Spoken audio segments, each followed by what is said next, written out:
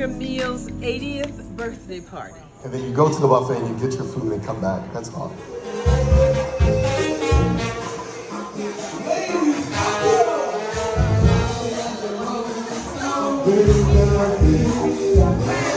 Happy birthday, Grandma. I've known Gammiel for over 50 years. She interviewed me for my first legal job. I didn't get the job. Gammiel, happy 80th birthday. Surry County is a much better place hmm. because you're there. Thank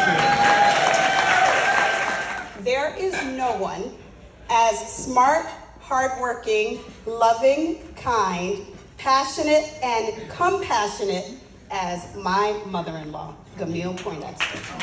It's not many times that you get a night like this in your life.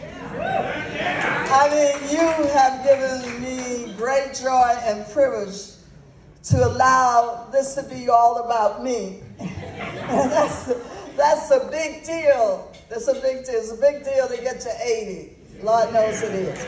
I want to thank God for giving me these years. But I have a lot of faith and a lot of love, and I, I am. I know that I have had, you know, I have been blessed.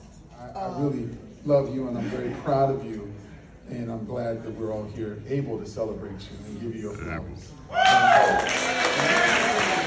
My mom is the model for how to live a life of service and friendship and how to treat people. And I want my children here to see how you treat people. Happy birthday to you. Happy birthday to you. Happy birthday, dear mom, sister Bucky.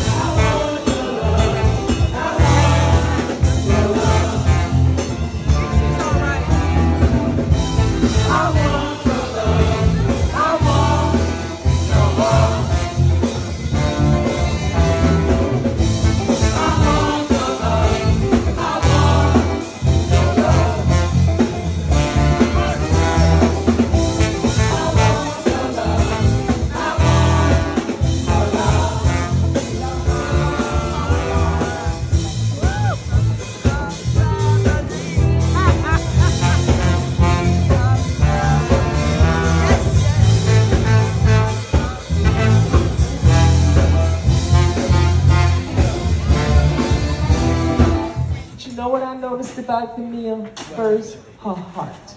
Yes. Her heart. And she said it to me again today, and it touched me the first time we met. She said, Julia, the only thing that made me sad about not knowing about you is we had all those years we missed to love you. So all of us are making up for lost time here. And this is the song I think about when I think about my sister Denise.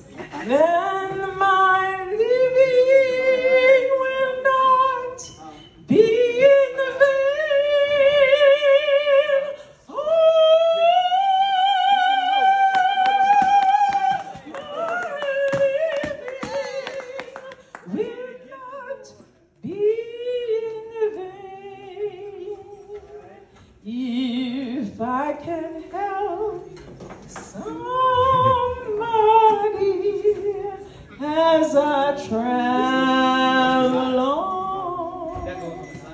than my division.